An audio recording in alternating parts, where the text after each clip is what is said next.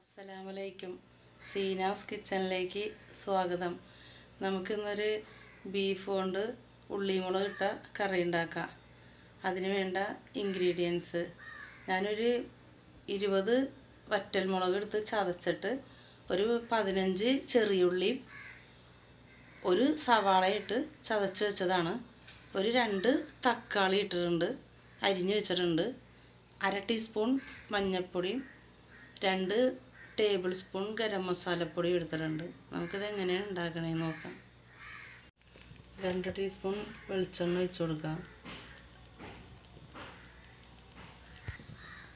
നമുക്ക് ചതച്ച് വെച്ചേക്കണ വറ്റൽമുളകും ഉള്ളി സവാളയും നമുക്ക് ഇതിലേക്ക് ഇട്ട് കൊടുക്കാം. ഞാൻ അര ടീസ്പൂൺ ഇഞ്ചിയും വെളുത്തുള്ളി എടുത്ത് വെച്ചിട്ടുണ്ടായി. അത് ഞാൻ നേരത്തെ പറയാൻ മറന്നുപോയി. അതുകൊണ്ട് ഇപ്പോൾ പറയണതാണ്. അത് നമുക്കിതിലേക്ക് ചേർത്ത് കൊടുക്കാം. പാകത്തിന് ഉപ്പിട്ട് കൊടുക്കാം. നമുക്കിതിലേക്ക് തക്കാളി ചേർത്ത് കൊടുക്കാം. നമുക്കിതൊന്ന് മൂടി വെക്കാം. നമുക്കിതൊന്ന് തുറന്നു നോക്കാം. തക്കാളിയൊക്കെ വാടിയിട്ടുണ്ട് നല്ലോണം. തീ കുറച്ചിട്ടേക്കണായിരുന്നു ഞാൻ. നമുക്ക് ഈ മസാല ഇട്ട് കൊടുക്കാം. മഞ്ഞൾപ്പൊടിയും ഗരം മസാലയും. അതൊന്ന് വഴറ്റി കൊടുക്കാം. ഇട്ട് കൊടുക്കാം. നമുക്കിനി ബീഫ് ഇട്ട് കൊടുക്കാം.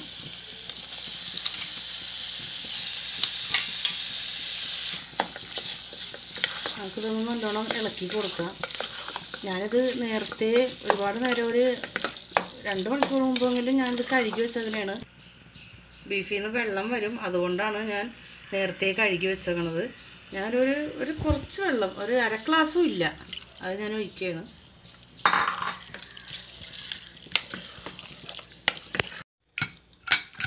എയറൊക്കെ പോയിട്ടുണ്ട്. നമുക്കിതൊന്ന് തുറന്നു നോക്കാം.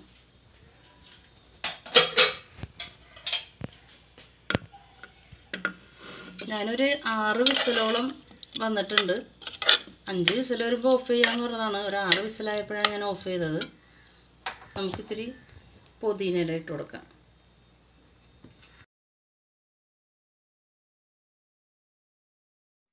നിങ്ങളിത് ട്രൈ ചെയ്ത് നോക്കണം. ഫാമിലിക്കും ഫ്രണ്ട്സിനും ഒക്കെ ഷെയർ ചെയ്യണം. ഞാൻ ഇതുപോലെ തന്നെ ചിക്കൻ വെച്ചും ഉള്ളിമുളകിട്ട കറി ഉണ്ടാക്കിയിട്ടുണ്ടായിരുന്നു.